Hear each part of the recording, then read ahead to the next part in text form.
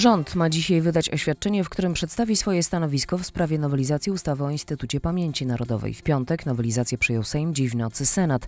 Zaniepokojenie nowelizacją wyraził amerykański Departament Stanu. Grupa członków kongresu napisała w tej sprawie do prezydenta Dudy. Zaapelowali, by sprzeciwił się ustawie. Wieczorem na ten temat odbyło się spotkanie kierownictwa PiS.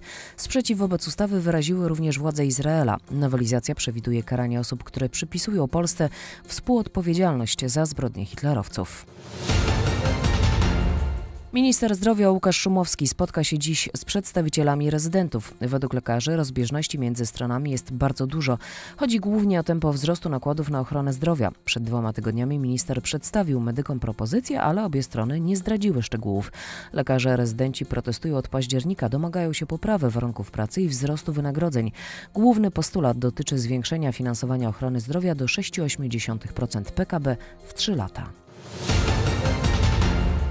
Przewodniczący grup politycznych w Parlamencie Europejskim zdecydują, czy zajmą się wnioskiem o odwołanie z funkcji wiceszefa Europarlamentu Ryszarda Czarneckiego.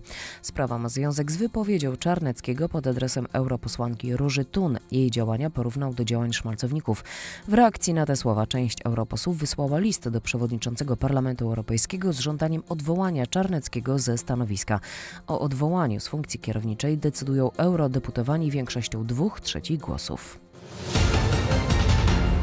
Prezydent Donald Trump podpisał rozporządzenie utrzymujące więzienie Guantanamo na Kubie, w którym przetrzymywani są więźniowie amerykańskiej wojny z terroryzmem. W dekrecie Trump anulował decyzję swego poprzednika Baracka Obamy, który chciał zlikwidować Guantanamo. W ciągu 15 lat do więzienia trafiło ponad 800 osób. Organizacje humanitarne krytykowały przetrzymywanie tam podejrzanych przez wiele lat bez procesu. Obecnie w Guantanamo jest około 40 więźniów.